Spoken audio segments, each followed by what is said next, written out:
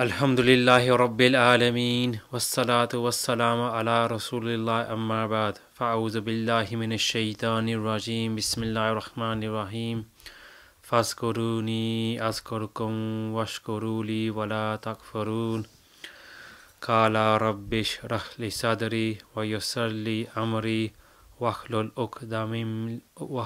عقدة من لساني يفقه قولي صدق الله العظيم we begin with the praise of our Lord, Allah subhanahu wa ta'ala, the Creator, the Provider, the Sustainer, the Enricher, the King of Kings, Allah subhanahu wa ta'ala. We send salutations upon the greatest creation of all, Muhammad sallallahu alayhi wa wasallam, the Ahlul Bayt, the Sahaba, the Tabi'in, the Taba Tabi'in, the awliya, the pious, and the righteous. May Allah be pleased with them all. Now, we are some months into this uh, lockdown, and I think everyone will agree that it's been a unique and extraordinary situation for most people in various shapes or form. For some people, it's been a struggle, it's been a test, and I say that in terms of finances because many people's jobs have gone, the work has dried up, and this has caused them a level of worry which they have never been accustomed to before. Because previously, if they lost a job, they would try to go and seek another one straight away. And for some people, it's been a blessing, and I say that again in terms of time. Many people have had sufficient time at home, which they have not been used to before because of their daily work schedule, commitments, and probably particularly the weekends when people would often go shopping out of town, go for food, uh, visit relatives, um, various social functions, weddings, funerals, indeed. All that has not happened, and therefore, most people have probably not been used to this time on the uh, weekend. Now, really, some people, so I've mentioned the two types of people who maybe from two spectrums. One is people who have been encompassed with worry, and the second is people who have uh, been blessed. And there will also be people in the middle who really, again, they may not see it now, but they have suffered a loss in this lockdown. And I will expand on that how so, but in short, really the question I ask myself, firstly, and others should ask themselves is, how have I used this time? Now, I will begin with what people, some people will be calling this period a blessing in disguise. And really, um, we all probably understand the meaning of that, but the real, actual, literal meaning is that something which causes you problems and difficulties at first, but only later on you realize it was a very good thing to happen to you or one of the best things that happened to you. And for them people, is it a blessing in disguise? Then one can, every person can effectively ask the question of themselves and answer it themselves because only they can truthfully answer it. And it's only Allah they and Allah subhanahu wa ta'ala who will know the true answer. And so really um, you should try to think am I in which of these three categories? Am I in the blessing in disguise category? Am I in the category where I have effectively suffered a loss? And the third category is where some people openly will say this time has been beneficial to me. So it's not even that they need to use the term blessing in disguise because that only applies to the people who are going through difficulty. Now, really, the first question we should have all asked after the initial lockdown being placed, and maybe the first weekend went by and the second weekend went by, and it appeared that there was no immediate relief or immediate change to the lockdown situation. Has it made us ponder? And has it made us ponder by looking at our past? Uh, normally, we only ponder and reflect upon things when we have the time. And uh, for people like myself and the vast majority of population, time has been an issue. Why? You will all know people, and people know themselves that when they are asked, Do you pray Salah? Yes, I try to, but I am busy with work, I am busy with family, I am busy with the gym, I am busy with other social commitments. And really, what we were saying then, in essence, was that if we had the time, we would be praying five times a day. If we had the time, we would be filling the other fard elements of the Sharia. And again, only one knows truly themselves whether that was the actual substantive answer or whether it was an answer which we could easily dismiss the guilt within ourselves by saying, I don't have time to do this because I suppose we all think, well, if we all had the time, didn't have to earn any money, and sat in a mosque, we would all become awliya of Allah. We would be the greatest worshippers. We would be praying so many nafils, so many Qurans, etc., etc. And I suppose we only say that because we know we will never be in a situation where we will be able to sit indefinitely for long periods of time in isolation and not have to worry about, well, is my are my bills going to get paid? Is there going to be food on the table for my family, and so forth.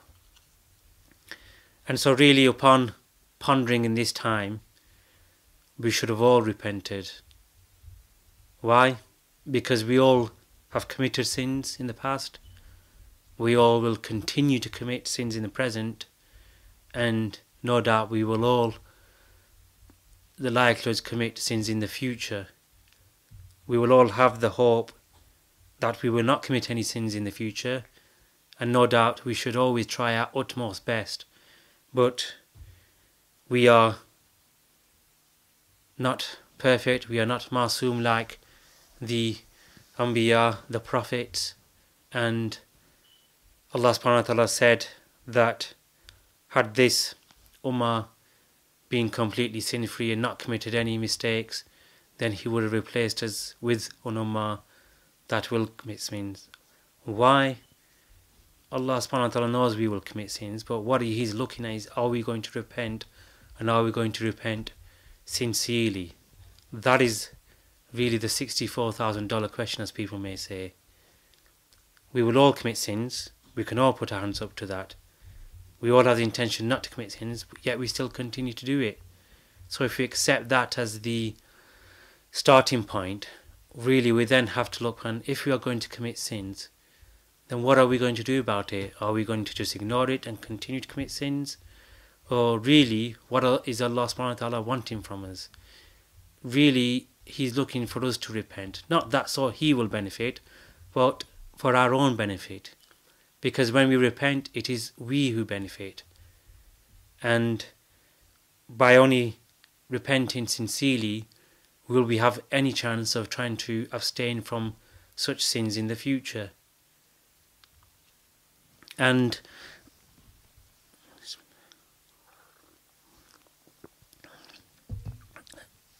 by repenting and pondering, we should ask our questions, especially those who have suffered loss of income, are going through financial difficulties with no immediate end in sight. Has this put the fear of Allah subhanahu wa ta'ala with me? Because we will all testify that once we suffer a, any kind of loss, any kind of stress, any kind of issue, any kind of loss of income, we all start making dua. And I'm not going to criticize anyone for doing that because ultimately we only turn to Allah subhanahu wa ta'ala when we are in difficulty because people like myself, when there are no difficulties or we are cruising along in life, we tend not to remember Allah subhanahu wa ta'ala until we get that shock, jolt in life, and then suddenly we remember our Lord. And no doubt many will have prayed to Allah subhanahu wa ta'ala in this time. There are people who have actually fallen victim to the virus. Their close family members have died. And for them, they will have turned to Allah subhanahu wa ta'ala. Has it put the fear of Allah subhanahu wa ta'ala to, into us? If it has, Alhamdulillah. The next question is, how does that translate into action? And if it's not put the fear of Allah subhanahu wa ta'ala into us, then really we should be worried because we should all we will all accept that each of us had some level of concern about the virus. Will we get it? Will my family members get it? Am I safe if I'm going to work? Am I safe when I go to the supermarket? Most of us will be taking some kind of precautions, be that wearing a mask, um, not shaking hands, wearing gloves, etc., etc. So, because of the fear we have of the virus, we take some kind of steps. But equally, if you have fear of Allah subhanahu wa ta'ala, then we should take steps to better our position. The other side of the coin is the love of Allah subhanahu wa ta'ala. Has that entered into our hearts? And we may all say with the tongue, we all love Allah subhanahu wa ta'ala, we all love His Rasul sallallahu alayhi wasallam. But really the question you ask yourself is, where is the proof of that? Because the saying is uh, words are cheap and therefore really again that needs to translate into some kind of action um, many people will have some experience of their wives you may express your love for your wife and uh, jokingly not sometimes wives will say okay you can buy me a watch you can buy me a gold bracelet etc uh, etc et and really um, what they are really getting at is that your words may be cheap, as you said. Buying a gold bracelet, buying an expensive watch, and handbag, or whatever that may be, it's really a sign of um, showing your love. Now, I'm not obviously encouraging that because we shouldn't be materialistic, and I would not uh, certainly encourage sisters to take this approach every single time. But uh, hopefully, you'll get my point that we can say we can love Allah subhanahu wa ta'ala, but if we don't show anything towards it in terms of action, then really, are we really doing it? One of the biggest actions, and it's free, that you show you love Allah subhanahu wa ta'ala is what? It's shukr. And that's shukr and being content with whatever blessings you have. Again, we all want a bigger house, we all want a better car, we all want a higher paid job.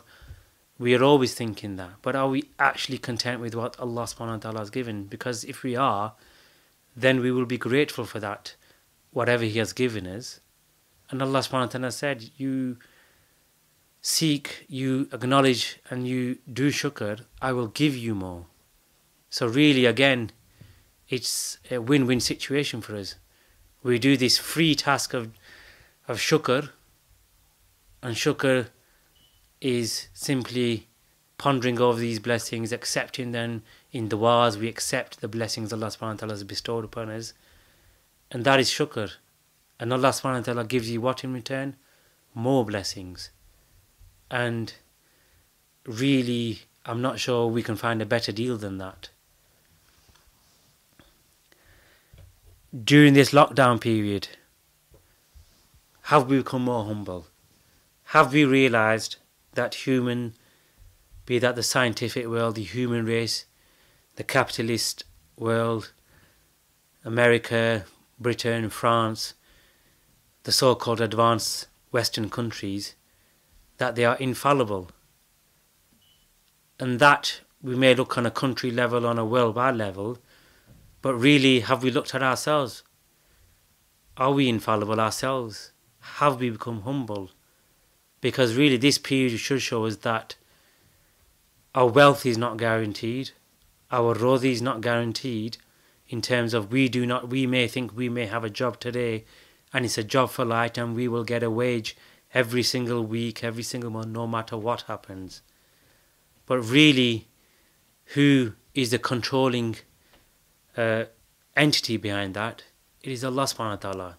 It is not us, it is not our employer, it's certainly not this government, because you've seen how powerless the governments have been to an extent. Have they prevented coronavirus? Have they even found a vaccine yet? You've got every single country in the world, every single pharmaceutical company throwing billions, billions at trying to find a vaccine. And yet we are one, two, three, six months later, and there's no sign of it. We are not saying it is imminent.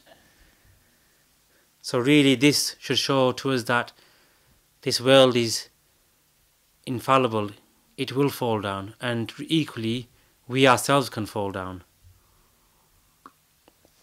we should be more humble in every aspect of our lives. We probably even went to the supermarket, and when I'll take the example of toilet paper, toilet paper ran out. Now, Alhamdulillah, for most Muslims, it's not a massive issue as it is for people of other religions or non religions. But you will see that if there was no toilet paper, what were people going to do? If they ran out of even the kitchen roll at home, what were what were they going to do? I suspect they would have come in June. They would realise I've only got no option but to wash myself. And so, really, we may think toilet paper was guaranteed for us, but a simple thing like that, it can go like that. It did go like that. And really, we should apply that analogy to our life. Allah subhanahu wa ta'ala can instant take that life of ours. We don't know when the angel of death is coming. And really, we should be humble in within ourselves in each and every intention and action that we undertake on a daily basis. Now, we've passed the blessed month of Ramadan, and traditionally it's always been a time where we have all increased our ibadah, be that become more obedient in Salah. We were praying five times a day. Many of us would uh, pray uh, Taraweeh. We would generally all fast. We would make more du'as. And we would also obviously open the Quran more. And this Ramadan would have been different, certainly for the males, in that some, I would have to say, maybe um, would not have been too disappointed that mosques were closed because you will have seen that in the first few Taraweehs, the attendance or the mosque masajid is always full. And as you then get past the first few, the audiences start to dwindle. And if you get around to the middle of Ramadan, then there is a significant drop in attendance, which then starts to pick up in the last 10 nights. But this year that didn't happen people had to read Taraweeh at home. And one again can ask them question themselves Did I read the Taraweeh at home? Did I encourage my family members to read at home? Did we even try to read Jamaat at home? Did we encourage this not only for our males in the family, be that sons, nephews, even the ladies of the um, of the house, they could have joined that Jamaat. Did we even try it once? Did we invite them once? And so, really, this period should have been used productively in terms of that those kind of aspects. Now, another thing which became apparent during this lockdown was probably the increased use of video calling, or be that Skype, Zoom, WhatsApp, any other kind of uh, technology. Now, we may have used that for relatives who, let's say, live in Pakistan uh, or any other country, but probably using them facilities to um, speak to other family members, maybe in the same town. We probably never did that, and really that was a good thing because it shows us that if we were short of time when we are in our daily lives, then everyone can make a phone call, and everyone can maintain ties with them relatives. And so, really, anyone who says to me that I don't have time to go and see my parents, my brothers, sisters, my chaches, my mamus, my pupian, granddads, whichever relative, it only takes two minutes for a call. And really, this should set the example to us that we can still maintain a level of contact no matter how small it is. But I must also address the people where during this lockdown period nothing has changed. Have they continued to gossip and backbite? Now, have they watched more TV? I'll be the first one to admit that I've watched more TV than I would normally. Why? Because I had more time at home. And I'm not going to fool myself or anyone else to say that nobody would have increased their use of TV or movies or whatever it is, Netflix, Ertugrul, or etc. etc. Now, obviously, there are programs which clearly fit in the halal category and programs which fit in the haram category. And really, if we've been doing the latter and using this extra time to commit more sin, then really we should be looking ourselves that we've not used this time effectively, if anything, we've started committing more sin.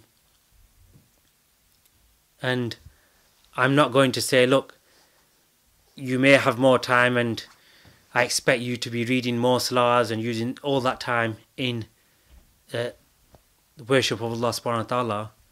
No, nobody's saying that really because again, we are all human and no doubt we will all watch more TV. We may watch a movie or, or two, but really we should have at least a portion of that time should have been spent in the remembrance of Allah. And that can be through various methods of increased nawafil prayers, increased recitation of the Quran, increased dhikr. So all we are saying is that we should at least have used a portion of that time to increase our remembrance of Allah subhanahu wa ta'ala. There are people, many, many people who will spend many hours a week at the gym. And obviously, they've struggled to do that in that aspect. And they may have been fastidious on their gym routine two, three, four, five, six times a week, one hours, two hours at the gym. Without fail, they would miss it. Alhamdulillah, one should look after their bodies and try to keep themselves in shape. But really, that time that they have now, extra, because no matter you maybe have a home gym, you may been doing some extra walking, extra running, have you used it effectively again in the remembrance of Allah subhanahu wa ta'ala? If you have made changes in your life because of the lockdown and the Ramadan, Alhamdulillah. But if you haven't, then there is always time. No matter what anyone says, it's never too late. People might, like myself, we've kept Ramadan, we've kept the fast for 20, 30 years.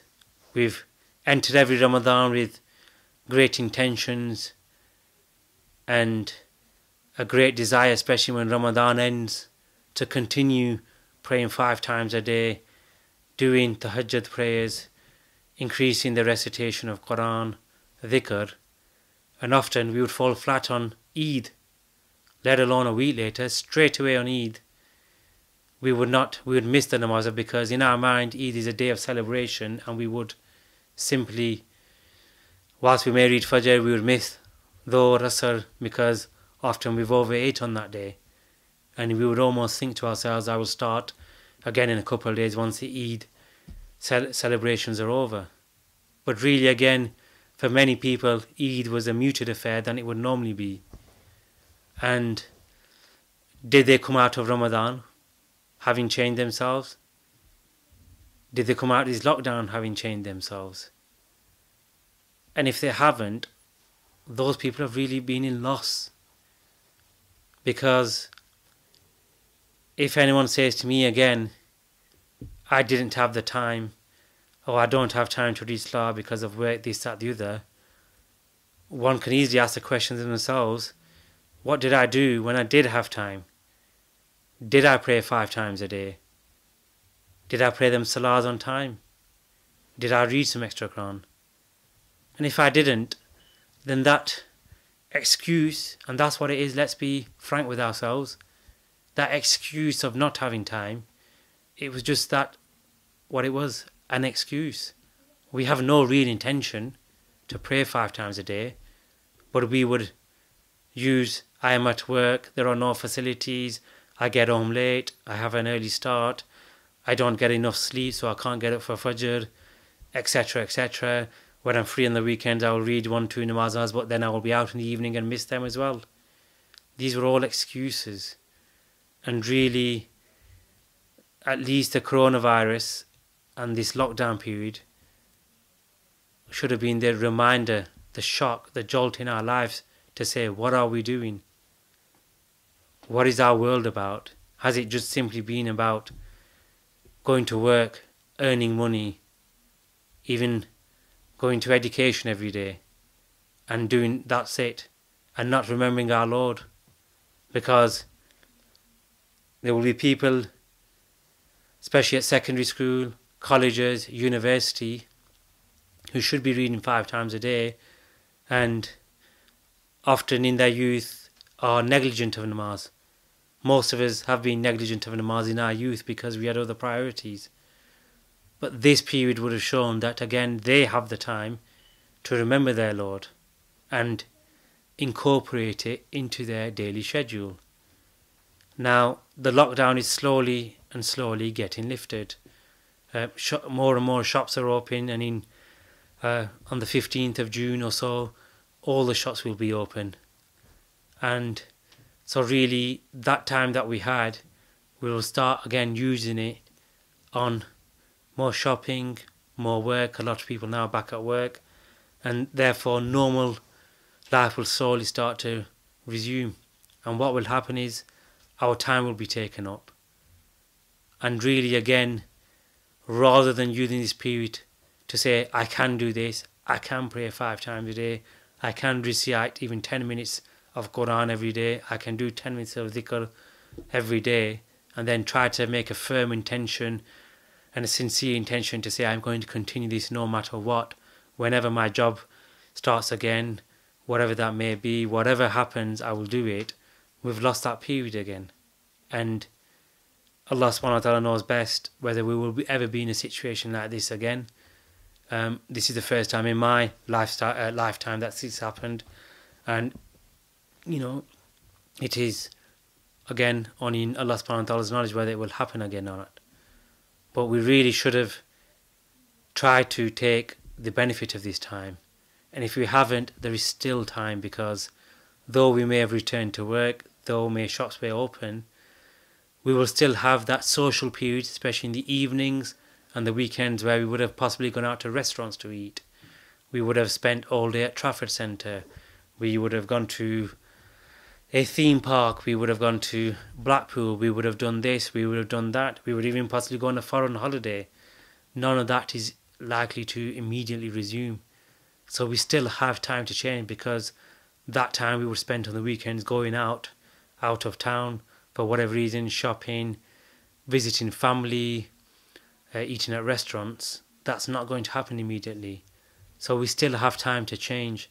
That's the important thing I would like anyone to take away um, from my few words today is that there is still time to change. Don't worry about that you miss been watching too much Netflix over the last three months and not taken use that time effectively. Um, you may have now been exhausted of all the dramas and the um, catch ups that you have done but there's still time to change. And really, it's a reminder to myself first and others that really we need to take the lesson of this lockdown period and particularly the coronavirus. That why, rather than engaging in conspiracy theories as to where this originated from and who did it and why they're doing it and etc. etc., one always has to remember even if it was released by China, as some people are saying, it did not happen without the will of Allah subhanahu wa ta'ala. And rather than worry about whether 5G is causing this virus and etc. etc., think about what lesson Allah subhanahu wa ta'ala wants us to learn from this virus. What reaction does He want from us? Does He want us to engage our time in conspiracy theories and forwarding messages and debating with others whether what's right and what's wrong and I know this and I know that and it's definitely 5G or it's not. What is the real reaction Allah subhanahu ta'ala wants is like with anything in life, it is to turn to Him and to turn to Him sincerely. It is a reminder. There are, as He said, uh, over 40,000 more deaths uh, in this country from the virus, it is said, than normally there is. And as you said, I think globally the figure is reaching towards half a million. And as we know, that these figures are always underreported. So there are, you know, a uh, probably around a million people in throughout this world who've directly died because of this virus. And did they have the opportunity to correct themselves? There will be Muslims who died in that. Did they get the opportunity to repent, correct themselves, make up the slars that they've missed, make up the fast that they missed, make an intention to go to Hajj, pay zakah, etc., etc., um, earn halal earnings. They didn't get the opportunity. Again, Allah subhanahu wa ta'ala knows truly what their condition is.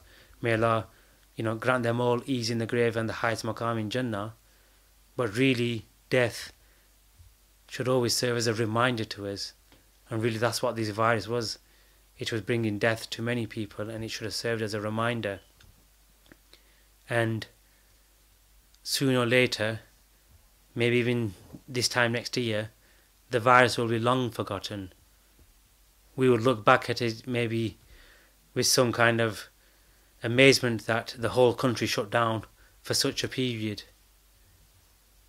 And so, therefore, this period will soon go, and I urge my brothers and sisters to take heed and at least make some changes now. And no doubt, both brothers and sisters will uh, mosques will be opening soon. Now, many people have commented about the closure of mosque and how deep the loss that they have felt of this, and that is true. Nobody has been able to read Jummah. Really, nobody was able to read Eid prayer as they would normally do. But really, the masajid are not just about the Jummah and the Eid prayers, or the 27th night of Ramadan, or the Taraweeh prayer. It is about the five times daily salah in congregation. Brothers should be aiming to read in Jama'ah where possible. It is extremely encouraged, highly encouraged, and it is the opinion of many ulama that deliberately reading at home on a consistent basis is a sin. And we will see when the masajid is open what will be the reaction of people. Will we all flock back on day one, day two, day three, and then as we become used to the normality of the mosque again, we will come to the stage where the Fajr Salah, the Fajr, Fajr Jamaat in many masajids, it is a handful of people only. And really, this again should serve a reminder to us of the importance of masajids to us and to the community as a whole, that we should appreciate them, we should support them, and we should attend them. I'm not saying that you need to keep on supporting them financially. Nobody is after that. These masajids will run with the will of Allah subhanahu wa ta'ala, but they require your attendance on a regular basis. And really, we should appreciate them and use these to benefit ourselves and the community as a whole. If I've said anything wrong or not in, in accordance with Islam, I seek forgiveness uh, from my errors and all goodness comes from Allah subhanahu wa ta'ala. Subhanakallahumma wa bihamdika ashhadu an la ilaha illa anta astaghfiruka wa atubu ilayk.